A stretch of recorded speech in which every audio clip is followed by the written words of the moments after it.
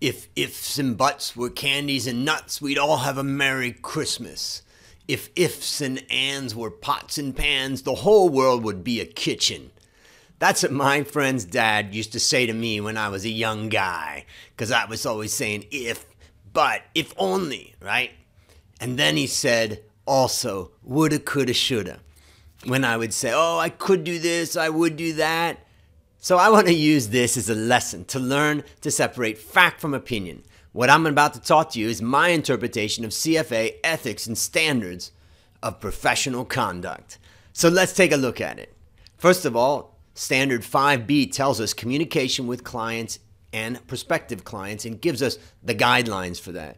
And part three of that tells us distinguish between fact and opinion in the presentation of investment analysis and recommendations. All right, so why should you separate fact from opinion? Well, avoid violating CFA standards of professional conduct by differentiating these facts from opinion. Now, there are two common scenarios where financial professionals should separate fact from opinion. The first one is to make clear the value that you add in the process.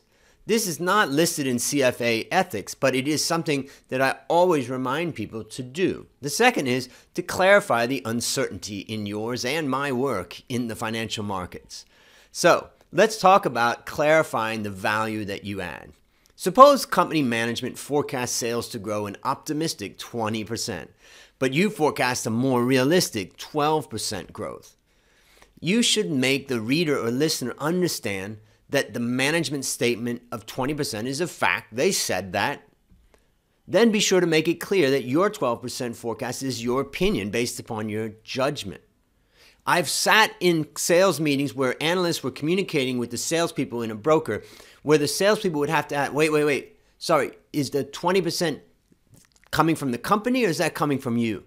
That's what happens when you don't separate fact from opinion. And people think to themselves, why should I rely on you if all you're doing is repeating what the company is saying? Now, be, by being clear that your opinion, in this case 12%, differs from the fact management statement of 20%, you show the value you add through your research.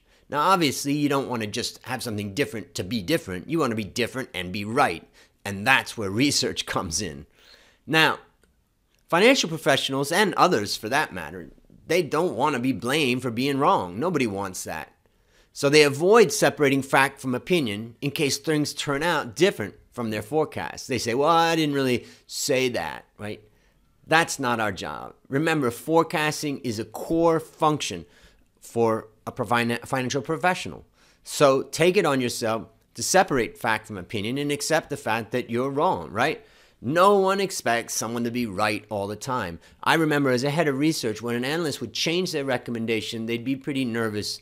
And what they would do is they would hide the change in their recommendation down at the bottom of the report. And it was my job to bring it right up to the front. And it terrified them because they didn't want to be seen as someone who didn't get it right. But I explained to them, particularly to the young one, the fund manager, the client, the financial people, they don't care that you're wrong sometime. They know you're going to be wrong sometime. But if they catch you hiding that, you're going to lose all credibility. So build your credibility by accepting it when you're wrong. Separating fact from opinion, another reason is so readers understand that the future is uncertain. Forecasters like to add certainty verbs, I say, to their forecast to lend an air of credibility, like I know what I'm saying. Certainty verbs like will. I expect profits will grow 30% for the next five years. This conveys a high level of confidence in your conclusions, and confidence gives the impression that you're right. But the fact is, is that nobody can predict the future. I'm writing this whole presentation today because I just saw an analyst working with me say that gross profit margin will remain at 20% for the next three years. That's what prompted me to make this PowerPoint. So let's continue on. Uninformed readers or your clients could interpret will to mean that there's more certainty in your forecast than the reality, that there isn't much forecast. In fact, my whole dissertation, which I have next to me here from when I did my PhD, was about how wrong analysts are in their forecasts. This perception of certainty could misguide clients to make more aggressive or dangerous allocations of their money. So let's go back and review Standard 5B Communication with Clients and Prospective Clients, Part 3. You should distinguish between fact and opinion in the presentation of investment analysis and recommendations. So, how to avoid this problem? Replace certainty verbs like will and must with would, could, and should. So, in this case, it's okay if somebody says woulda, coulda, shoulda to you. Have a great day.